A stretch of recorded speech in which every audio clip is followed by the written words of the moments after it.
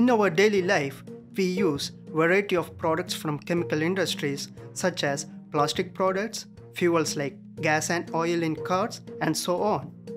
Do you know that a material called catalyst is used in all these chemical process to produce these kind of products?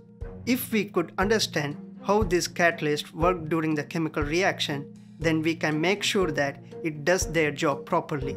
My research is all about developing a tiny sensor that can monitor and analyze molecules that are produced during high temperature reactions in real time.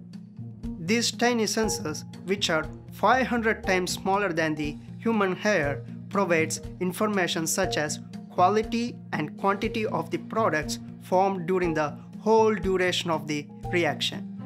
With this information, it is possible to design better catalysts which even reduce the production cost for chemical companies.